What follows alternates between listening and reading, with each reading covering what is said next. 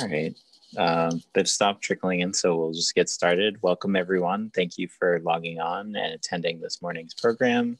My name is Matt Schuman. I am on the programming team here at Cary Library. Uh, before we begin, just a few notes. Please let me know in the chat if there are any technical issues that you're having. Um, otherwise, if you have any questions or comments, send those to the Q&A and I can, yeah, using the Q&A button and I can filter them to uh, Trisha. Um, this program is also made possible by the generous donors to the Cary Library Foundation. Uh, I'd like to now introduce Trisha Perez Kennealy. She is the owner of the Inn at Hastings Park, uh, which I believe she is recording from today. Um, she has been a major part of our cooking series all of last year. Uh, and uh, she also has her own cooking videos on the Inn's Instagram page. Um, uh, we appreciate her diverse culinary knowledge and eagerness to teach us how to cook delicious dishes at home. So now please welcome Trisha. Good morning, everyone. Happy New Year. Um, welcome to the Hastings Park. Where I'm standing right now is actually the living room of the inn, but I'm actually using it as my cooking studio. Today's a really special day. I'm going to be spending the beginning of the day with all of you and then I'm transitioning right into our first immersive culinary weekend at the inn. So we have a new offering where once a month we're doing a whole weekend where people can come and stay at the inn and cook with us. It's actually over 20 hours of culinary instruction and it, it includes an agrarian farm tour, a beautiful tasting menu from our executive chef, Michael Arnold. So if you're interested in having a staycation with a purpose, please check us out on the website. There's different themes every month. This this month's theme is a Scotch tasting. And if you feel so moved, we actually have two more spaces. So if you feel so moved and you'd like to check in at noon today, just call the front desk and they'll be more than happy to help you. So uh, Trisha, before you begin, um, sorry to interrupt. Is it possible to just move the camera slightly closer or um, just for uh, the audio was a little um, off? All right. So what I was talking about is I'm going to be teaching all weekend here at the inn. We have guests that will be staying with us for the weekend. Um, and they will be having a whole variety of cooking classes, everything from the basics of stocks all the way to lunch, brunch, dessert, high tea, cheese plates, all of it. It's kind of my cooking boot camp, um, if you may. So today we're talking about, this is the beginning of the 2021 series of Back to Basics Cooking. And today we're talking about soups. Um, hopefully some of you received um, the packet that I put together. And we're going to do that this year. We're going to send out the list of directions, ingredients, equipment, in case you want to cook along with me. And I'll give you some directions about things that you should have done ahead of time if you want to kind of keep along with, with me as I go. Um, so today we're making three different types of soup. We're making matzo ball soup. We are making a farmhouse chili. And then we are also making a roasted tomato soup. In the packet, I included directions for how to make chicken stock and beef stock. If you go back in the archives of the libraries, uh, the classes that I've done for the library, you will see um, you will see directions for how to do that. So what I've done right now is I am actually, I've chopped up the vegetables. These are going to be the vegetables that I'm going to serve in our matzo ball soup. When I make my chicken stock, I like to cook the stock for three hours. So those vegetables aren't necessarily the most flavorful to serve in the soup. So what I do is I finely dice celery, carrots, sometimes I do leeks, sometimes I do onion, and then I sweat them in a little bit of olive oil uh, and also with a little bit of salt. So we're extracting a little bit of that liquid and they, we're making them a little bit softer. So they're a little bit more pleasant to the bite when we put it in our soup. So before we got ready today, there were a few things that I got ready. And what I'm going to do is I'm going to move over here. I'm actually going to have my assistant, who my my production assistant today is my daughter, Gabriella. She's going to share the screen in a second so that you can get an idea of some of the things that I did beforehand. So I am demonstrating the vegetable stock here. And what I did was I cut up carrots, celery, onion, and mushroom so that they were in even sized pieces. And Gabriella's gonna pull up a picture of that pot. The first picture is just all of the vegetables. And then the second picture, what you see, what you'll see on top. Are you there, G? No, something's up with your desk. Here we go.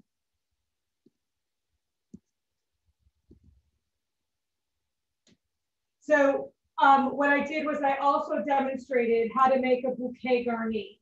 So a bouquet garni is a very, um, it's used to flavor flavor the stocks. And what it is, it's sprigs of thyme, parsley, bay leaf. And what I do is I actually make a bundle. I take a celery stalk. So I'll take the celery stalk, I'll cut it in half, and then I use the celery, I put it together, and I put the parsley, the sprigs of thyme, and the bay leaf. I tie it all together. The reason I do this is that it makes it very easy when I've done when I'm done cooking my stock to just just grab the bouquet garni out of the stock. So I apologize for having a little bit of trouble pulling up the PowerPoint um, to show you the picture. So I will send that along to the group afterwards. So if we come over here, um, what I have boiling um, on this induction burner is actually the veggie stuff. And what you can see, I'm actually going to take the white so you can see it. You can see that there's this beautiful color. That beautiful color is coming because I actually left the onion peel in, in the stock. There's carrots, you can see the mushroom. The mushroom adds a little bit more of that beefy taste that you have in the stock, if that's something that you want, but you prefer not to eat meat. So the other thing too is that this has been cooking for about an hour. I'm gonna turn that off and we're gonna use this stock as our base for a lot of the things that we're doing today. We're gonna move over here to my oven. And in the oven, what I have is I have tomatoes. These were Roma tomatoes that I sliced in half. I drizzled with olive oil, seasoned with a little bit of salt, and I also included some garlic cloves. And we're gonna be using these for two of the recipes, the tomato soup recipe that we're gonna be making and the farmhouse chili recipe that we're gonna be making. There was a uh, question that came in about the stock. Yeah. Um, would you uh, speak to the pros and cons of purchase stock versus homemade stock and if there's a favorite brand even that you have? So I am partial to using homemade stock. I actually think it's a very easy skill to master. I think the challenge is, is that most people have never been taught how to do it. So if you haven't watched the my classes on doing that, I would highly encourage you to do it because I think that you'll find that it's super easy.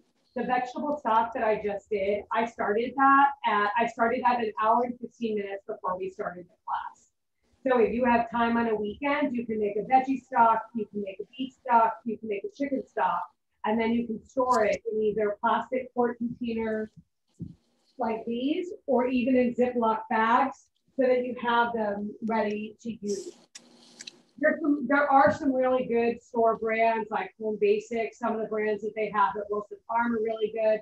There's some other ones. I would highly encourage you to use the lower sodium versions because a lot of them have a lot of sodium to enhance the flavor. But I really would encourage you to try this on your own. The other thing is, is that I do not like wasting food. When you work in a kitchen, especially if you've been trained in the French technique, it is all about using everything. So another way that you can make veggie stuff is if you, so I always have like a container that has all of my, my scraps. These are, these are carrot peels, this is celery stalk, like celery tops. I could keep the, um, the root of the onion. While you're cooking, you keep a bag like a, a bowl or a bag, you just can keep adding to it. And when you fill up a gallon bag and you, and you can freeze it, then you're ready to make some veggie stuff. Um, it's a little bit harder to use some of those scraps, although sometimes we do in the, when we make chicken stock or beef stock because the cooking time on those is much longer, so they will break down. So I would save these scraps to do more of your vegetable stuff. I also save, we make whole roasted chickens a lot in our house. I also save the carcasses from making those chickens to make stock as well. So making stock is really one of the oldest recipes that, that we have. Like it's such an important part of the culinary tradition. And it really is rooted in making sure that we extract every ounce of flavor from every piece of food that we have. So I hope that that answered your questions about stock. Obviously, I'm biased towards the home cooked product, but obviously, if, if it's the difference between you trying a recipe and not, then of course, buy the best quality store-bought stock. So the next thing that we're going to turn to is I am going to start our farmhouse chili. And I'm going to do it in a little bit of a smaller batch um, than what you had um, on your, uh, than what you had in the recipe.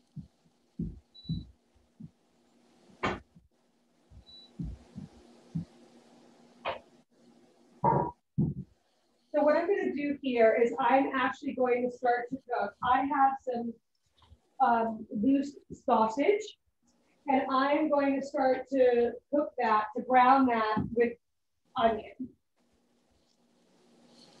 Now, this is a recipe that I use, I've used a lot over the years. Um, I, I think as some of you have watched my classes before know that we like to tailgate a lot.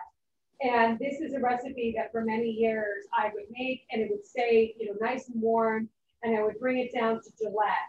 Actually, one of my favorite stories is actually it's getting to be, oh, it'll be 17, it'll, ah, it was 17 years ago this month. I was eight months pregnant and my husband and I were going to watch the Patriots play against the Titans. It was ridiculously cold. It was about 10 or 12 degrees, maybe below zero. And we were really excited to go to the game because one of our friends, his first cousin, was playing in the game. It was so, it was predicted to be so cold. My father in law said to Mike, Are you sure you can't convince her not to go to the game? And Mike sort of said, You know, my wife, we're, we're going. So we went. It was so cold that someone dropped, it wasn't on purpose, a beer slipped and it hit the ground and it froze on contact. So after the game, um, our friend's cousin, his name is Tom Ashworth, he was an offensive lineman for the team. Uh, his wife wasn't able to come to the game because she was also pregnant and he was starving. So we had some of this chili left over. So I gave him my farmhouse chili to take home to eat after he won that divisional game. And they also did go on. So it was a really fun experience. So this this particular recipe uh, brings back so many memories for me. And I think that that's also the way it works with a lot of cooking. So many of the recipes that I do are things that bring back memories of things that I've done. So the next thing that I'm going to do is I'm going to let that brown. This is going to take about 10 minutes. And while that's happening, I'm actually going to take some of this veggie stock and put it into another pan so I can get ready to make our matzo balls because the matzo balls are going to take about 30 minutes. Uh, there was a question about um, chicken stock if you save and freeze chicken carcasses for stock. Yes, I do. I, I totally save the carcasses.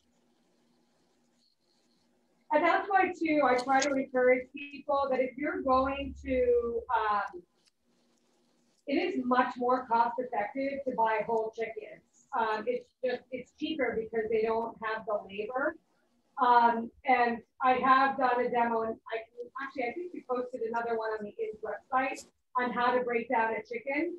So you can, you know, if you're a family of two or if you live on your own, you might think that it's foolish to buy a whole chicken, but there's things that you can do to kind of use it uh, and then there, there's a question too where do you buy uh, sausage and um, if you have good sources that you could recommend? Yeah, so I buy sausage in several places. I actually have to say, um, so I get sausage, sausage from Pete and Jen, uh, from Codman Farm, Pete and Jen at Codman Farm. They raise their own pigs and we actually buy it's kind of ironic for me to be talking about sausage and talking about making balls. Um, but we buy a whole pig And so we get an assortment of breakfast sausage and Italian sausage. And some of it is loose, so it makes it really easy to make recipes like this. I also think that we're really lucky because of the large Italian community here. There's some very good quality sausage that are made in the area. So um, it's really cheap. I think it's, it's made in Medford. Um, and they sell it, uh, they sell it at Wilson's, they sell it at a lot of the supermarkets. Um, but I think it's a really high quality sausage. They make Italian sausage, both hot and sweet, and they also make Chinese sausage, which is very, um, I kind of compare it to, um, it's like a Chinese spare rib without the bone. Now, when you do this recipe, I it all depends on my mood. I had beef sausage today, so that's what I used to do it. But if you wanted to, you could use the sausage that's cased. Um, Beef pork. Um, there's also some great turkey and chicken products. The one thing you need to be very careful of if you are buying cased sausages, even though, like for example, the Alfresco brand is a you know Apple. They make all these chicken sausage. They're all cased in pork. So you need to really make sure if you're buy if you're looking for something that is not a pork product, you need to really make sure that um, that it's not cased in pork. So what I'm doing on the other side here is I'm going to bring um, I'm going to bring this veggie stock to a boil. Um, and what I've done before, before we started, because I wanted this to chill for half an hour, is I made our matzo ball mix. There There's many matzo ball variations um, based on, on family preference. We like our matzo balls to be light and fluffy. So what I learned from my grandmother was I use seltzer and I use chicken fat or schmaltz. You can use water. You can use olive oil. Some people use margarine. I know that that sounds funny, but for people who observe, um, who are kosher, margarine was a product that was used a lot. Um, so what I do is this is four eggs. It's a cup of matzo meal, a quarter cup of seltzer, a quarter cup of the rendered chicken fat. So what I do is I melt it. I melt the chicken fat, and you can buy it. Empire sells in their frozen kosher food section. They do sell chicken fat around the Jewish holidays. Wilson Farm also carries it and sells it um, as well. The important thing is, is that you you need to figure out the matzo ball recipe that works for you. I mixed all of that together and I let it chill for about half an hour so that it has sort of a, a stiffer consistency. I like to use um, an ice cream scoop to to shape mine. These are not going to be as precisely shaped, but that's okay. I'm gonna just drop it in like that.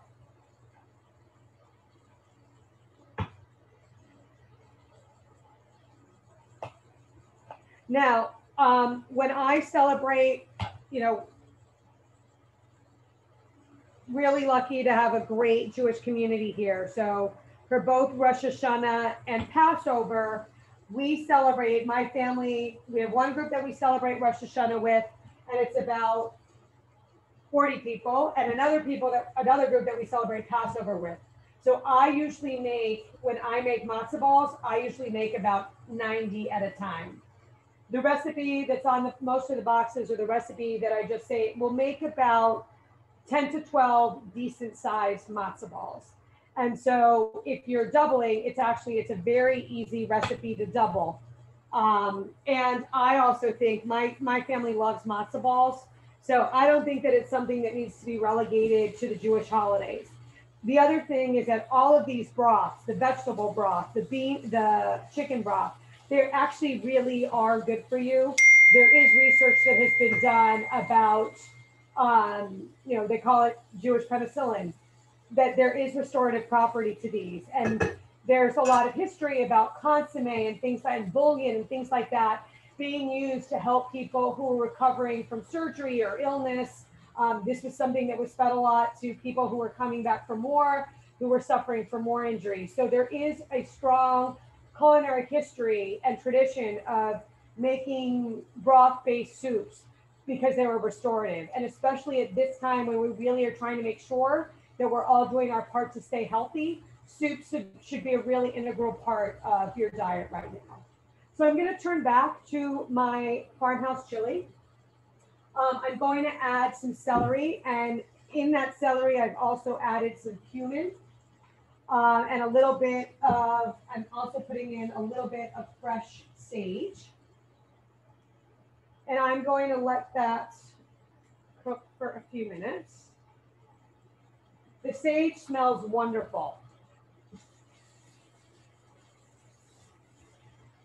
I'm going to let the celery soften up for a few minutes.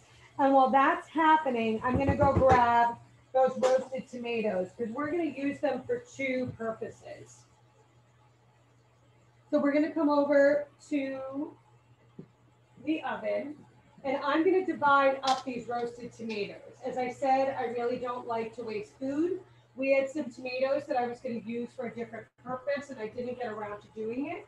So what I decided to do was I'm going to use some of the some these tomatoes to make um, a really easy roasted tomato soup, but then I'm going to use the rest of them in our uh, to make um, to add to our um, to add to our farmhouse chili. So I am a big fan I of the my Vitamix blender. It is very important when you are blending hot liquids, if you're pureeing a soup or doing anything like that, it is extremely important that you only that you fill it below the halfway mark. Because filling it anywhere above that, it becomes it can actually be really dangerous because it can explode um, when you start to blend it.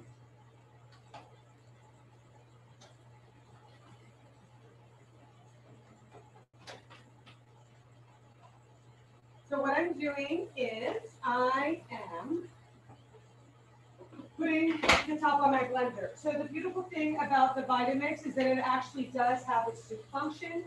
So if you were to press the soup function and leave it on, I'm not going to do that now because it's, it's like two or three minutes. It actually keeps the liquid warm. So I sometimes do the same thing with broccoli. I'll roast the broccoli and then I'll blend it and I'll add a little bit of vegetable stock to make a really quick broccoli soup that I could top with cheese, put a little sour cream. Um, it's just a really quick way to make a soup. So I'm just going to go ahead and really quickly um, start my blender.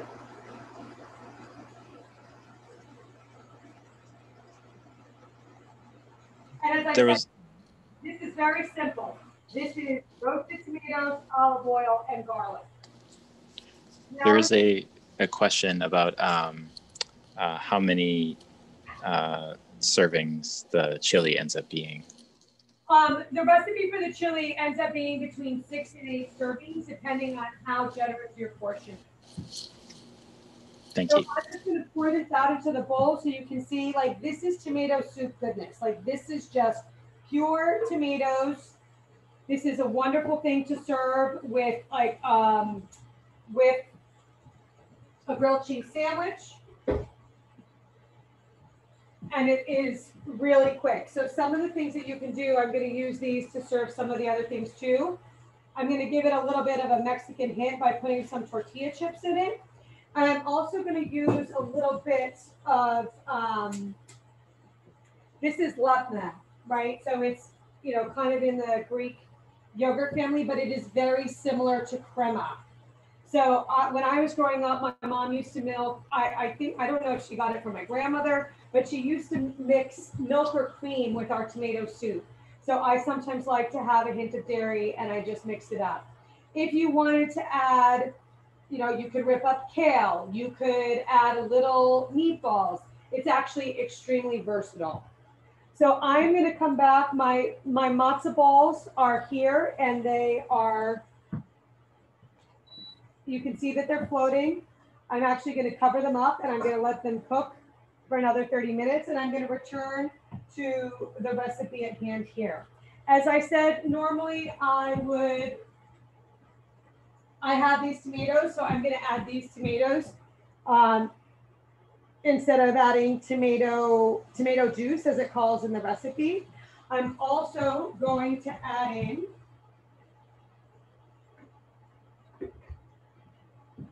um, I have a little bit of maple syrup here. And it adds a really nice, um, it's a very mild, mellow sweetness that it adds. And then I'm going to only add about half of what the recipe calls for in terms of the beans because I'm kind of halving this recipe.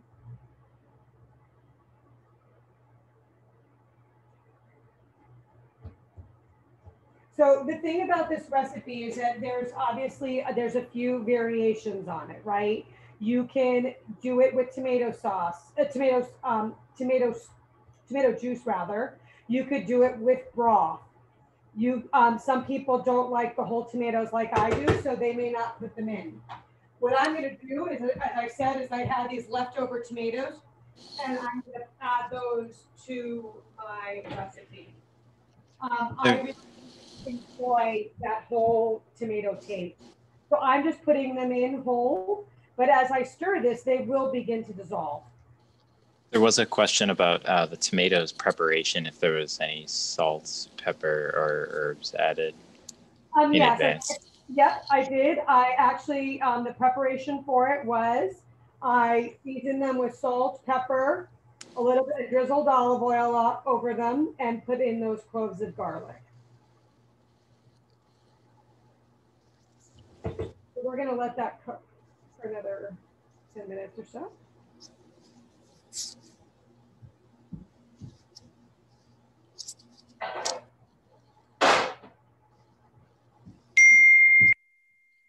Now, as I said, the beautiful thing about this is I actually got an inquiry for somebody, um, a press inquiry about meals for the week, like things that you could do.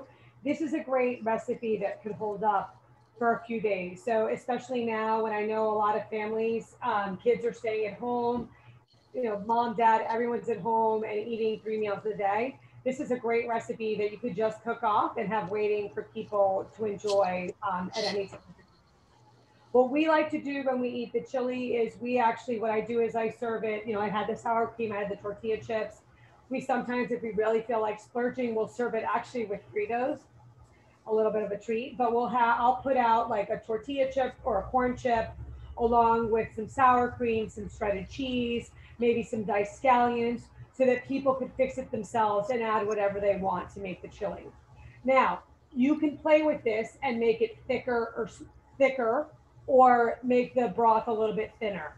You would add more tomato juice, you would add more broth if you wanted to be thinner. If you wanted it to be thicker, and if it was thicker, it would actually be really good also on a baked potato, or you could serve it with rice. You would just minimize the, you know, you would you would you would reduce the amount of liquid. I used canned beans. Um, I am a big fan of Goya. Um, I grew up in Puerto Rico, so this is a staple and it's now widely available across the United States. Um, they have an organic line of beans. They have a low salt line of beans. Um, and this is one place, um, you know, you could use dry beans, but for me, this was just easier. I think it's easier to just use the canned version for something like this. There are a couple questions, if I can interrupt. Um, one was, what was the consistency of the roasted tomatoes after you had put them in the blender? Were they chunky or liquidy? Here, let me show you. Let's go to the soup. I'm gonna use this white spoon again. Um, actually, hold on one second. I'm gonna get it from the.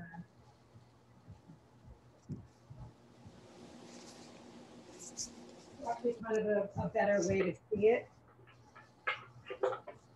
So there's that white spoon and it's, it's coarse, it's chunky because you want to be able to see that it was, you know, that it was actually a tomato if you want it smoother, I didn't I didn't blend this as much because I know that my kids are going to eat this and this is kind of the way that we like it. But you can make it smoother if you would like. You also need to play with different types of tomatoes because different types of tomatoes have um, different levels of like different water content. These are more watery tomatoes. Plum tomatoes tend to have um, tend to be less liquidy. So you know, this is the other thing too is that it's not, um, I always tell people I wouldn't be a fan of having a mozzarella uh, like a caprese salad at this time of year because I wouldn't necessarily eat the tomatoes raw. Although now we have access to beautiful hothouse tomatoes or hydroponic tomatoes that are grown throughout the year. But the beautiful thing is that when you oven roast the tomato, it intensifies the flavor and bring it out. So I actually think that this is a very good use of tomatoes at this time of year if you feel like having a tomato soup. Um, and then there was a question about why you chose chicken sausage over beef for the chili. Um, actually, I actually used pork. I used pork sausage today. But what I what the point that I made is that I'm actually teaching a similar. I'm te- this afternoon when we have our guests checking in to do our immersive cooking weekend. I am doing a similar soup class, and the guests that are coming do not eat pork. So what I was saying is that you could make it with chicken or turkey sausage, but you have to be very cautious and make sure that you know what the casing is made of because a lot of casings for even turkey and chicken sausage are made out of pork. Thank you for repeating that. And then there was one last question before you move on, if you want. Do you ever use a slow cooker for soups? I do not use the slow cooker a lot. Um, I think that maybe part of it is that because I really slow cookers are great. Um, you know, if you it's a really great way to get make sure that you have a meal ready for your family. But I think that because I'm really lucky to have been able to practice these skills over and over again, I kind of have my routine of how I cook for my family and that just hasn't been part of my repertoire. But I know there's some people that absolutely swear by their Instapots and their slow cookers. Um, but that's sort of my perspective. Thank you. That was all the questions for now. Great. All right, so I'm going to go back and visit my matzo balls. Um, that's probably cooking a little more vigorously than I wanted to because as you can see, it's causing the, the matzo ball to, to fall apart a little bit. Um, going back to our chili in terms of serving it with the beans. Um, if you were using a dried bean, you do want to make sure that you start the day before because you want to soak them and then you want to be able um, you want to be able to make sure that they're the right tenderness. Um, I'm going to go ahead and serve out this beautiful farmhouse chili. Gabriella, do you want chips and cream on it?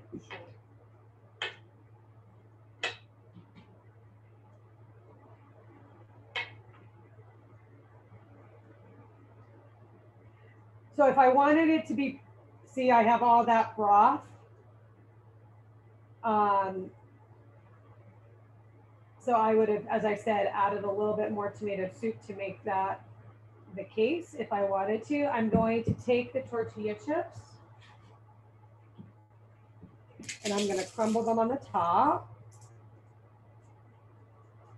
And then I'm going to put a little dollop of the cream.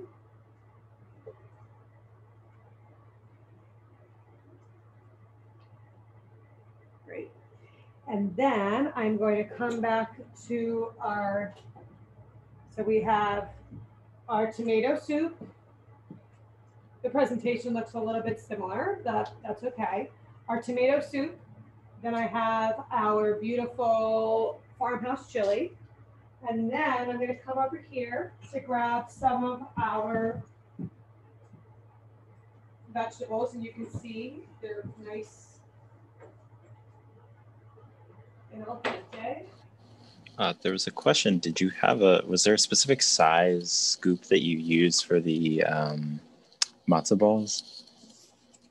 all depends on what the, what I'm what I'm using them, like how I'm using them. So for example, if I'm making matzo balls for a big crowd, I'm going to want them to be on the bigger side. So I'll use like a cup measure. The one I used today was, you know, really, um, you know, as you can see, you might remember from when I put them in, they've expanded. So what I'm, um, I think a half cup size, a half cup scoop is a good one to use. Um, but it all depends um, on how you want to serve it. Some people like this presentation, which is one large matzo ball. Um, so it really depends on how you want to present it. But I think that anywhere between a half a cup and a cup scoop, like a cup scoop of matzo balls, like that will be, that would be a huge matzo ball. So more between the quarter to the half would be a good one. So Then, uh, what was the name of the cream again? If you could repeat that. Sorry, I'm having you repeat a lot of things. So what I was using today is labneh. Um, this is the Middle, it's Middle Eastern, and it's kind of, it's very, it's like a cross between Greek yogurt and sour cream.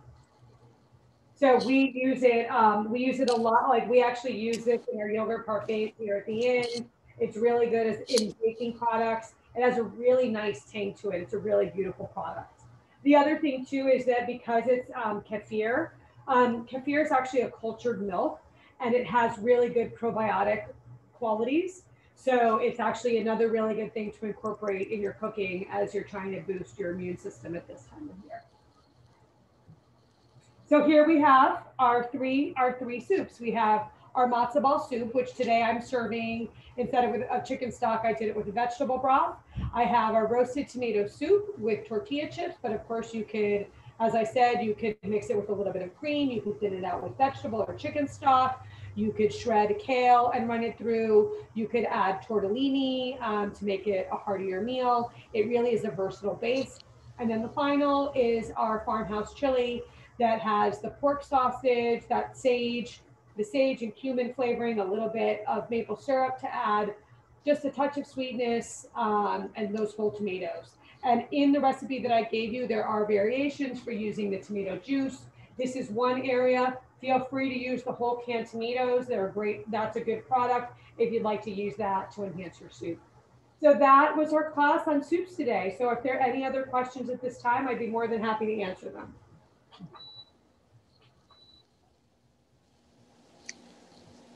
Uh, where do you end up uh, purchasing labneh?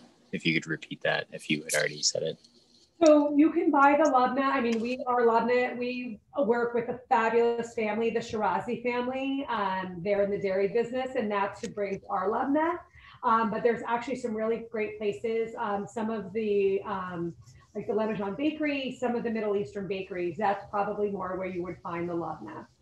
The really interesting thing is what I found is that um, I'm actually a big fan of shopping at Market Basket, and I find them to be incredibly receptive. If there's a product that you want and you ask them, they often will bring it in and they will see if the product will work. So I haven't checked to see if they have labneh um, recently in this Market Basket, but I would imagine I would imagine that if there's a Market Basket near Watertown or in Waltham, I found even that the inventory between the Waltham Market Basket and the Burlington Market Basket is a little bit different. It's reflective of the cultural communities, the different cultural backgrounds that are in the area. So the Lembajon Bakery, um, there's also Sophia's um, in Belmont. They also carry labneh. Um, they also have a really good Greek yogurt product. So those are some of the places that I would look for it.